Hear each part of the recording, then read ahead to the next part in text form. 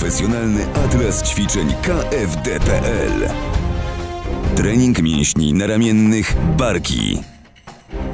Wyciskanie sztangi za głowy.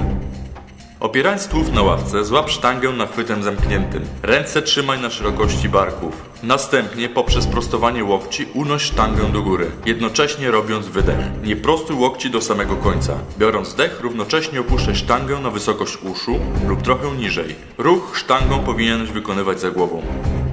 Uwaga!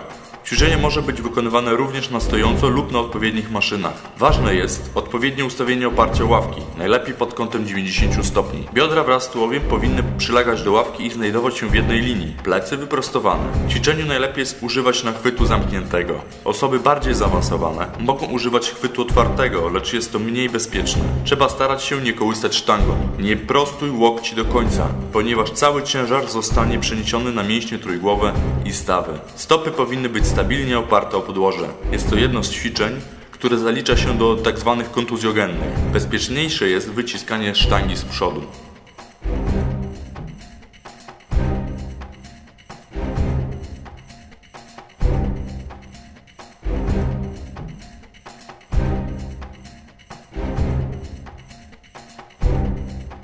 Dokładne informacje, opisy, zdjęcia oraz wizualizacje zaangażowanych w ćwiczenie grup mięśniowych znajdziecie na atlas.kfd.pl.